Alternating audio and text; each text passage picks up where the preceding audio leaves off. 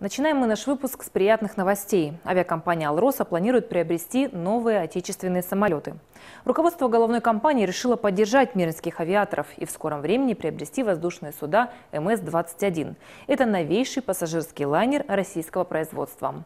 В зависимости от модификации способен перевозить за раз от 150 до 211 пассажиров. По своим характеристикам превосходит многие западные аналоги. Первый полет он совершил всего два месяца назад. Авиакомпания «Алроса» планирует приобрести в лизинг три единицы авиатехники в 2023 году.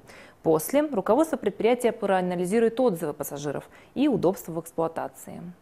Вот с целью замены, в первую очередь, самолета Ту-154 и замену к тому моменту, когда мы придем к приобретению воздушных судов, э, воздушных судов Boeing 737-800, мы и подписали э, соглашение, то есть мы получим это воздушное судно, посмотрим, как оно себя поведет в наших условиях, понравится ли оно, э, это воздушное судно нашим пассажирам, и э, экономически выгодно нам его будет эксплуатировать или невыгодно. И зависит от этого будет принято решение по следующим трем воздушным судам.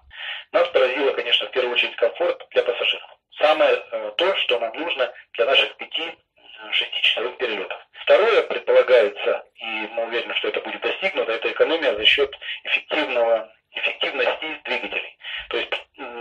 предполагается, что расход будет снижен там, по разным оценкам от 7 там, до 15 процентов.